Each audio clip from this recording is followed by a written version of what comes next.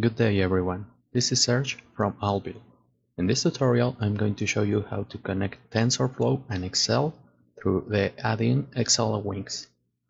In order to do so we need to download the four files attached and we're going to open the A dogs and cats macro that's on the description below. Next we're going to click on the xlwings ribbon and we're going to set the path for the conda. This is where we have installed um, Anaconda and Python and everything related. Usually is where xlwings is installed as well, the DLL, DLLs that are needed. In my case it's C users, my username and then Anaconda, so we are going to specify that path under the conda path uh, argument. And for the conda environment, usually it's the base one. As you may see, if I go to Anaconda Navigator, I can see that I have the base that's stated as root, and I have another two installed. Uh, doesn't matter, so we are going to use the base one. In order to achieve the best results, we should have everything installed there, and, and we are going to continue from that. Next, we are going to specify the path for the AI, the model that we have developed under TensorFlow. The link for the construction of this model is on the description below, so please follow that tutorial along in order to build it.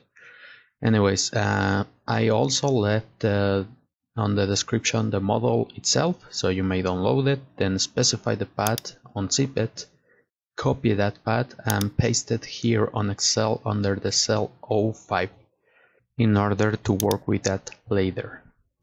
Next, we need to open the py file that we have attached on the description below as well. Open it with either, either with Notepad or some Python editor, and doesn't matter. So in order to work with that, we need to see that all the import for the libraries that we are going to use are there, as we may see on the beginning of the Python file. Next, we are going to declare the functions as it's shown on the on the screen by setting the, that function and that argument. And we're going to declare two functions. First is the image process one where it's going to take the file well in this case the, the picture that we're going to analyze. It's going to resize it to size 50 and it's going to make it on grayscale. So it complains with the model image that it it's that it, it is expected. Next, we're going to declare the function for the text AI prediction. Uh, we're going to declare it as function and then the arguments for the function itself as well. Those arguments will be the text AI model path, where it's the, the model itself saved. And then the other argument that we need to declare is the text file path those two arguments are declared right next to the function. It's important to note that. Then uh, after that it's being analyzed, it's going to relate it to the array text categories that, that we defined it on the first section of this PY. And that's basically it for this file so it's going to return that evaluation. Next we're going to explain it within the macro itself the excel file. So it's important to note that both files are on the same um, directory. This way we need to make less statements by just using the import function that's built on the xlwings once we, we have performed that, we may see everything it's related now. We're going to copy the first picture, it's going to be the cat test, and then we're going to do the same for the dog test.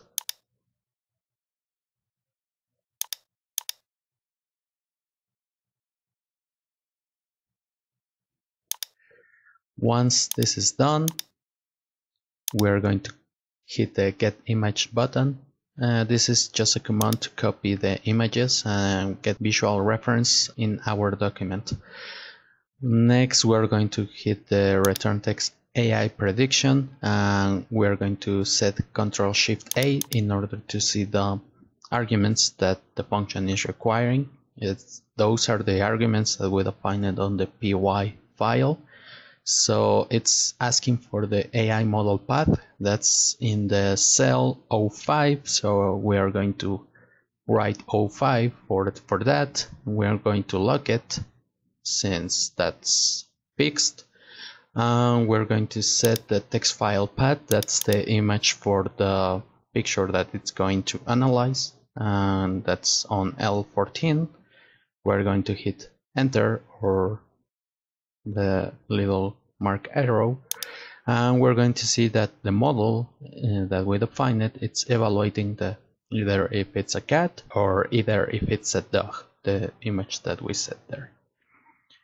With this we conclude um, this tutorial. Remember to check out how to build this model and the link in the description below in order to build your own model.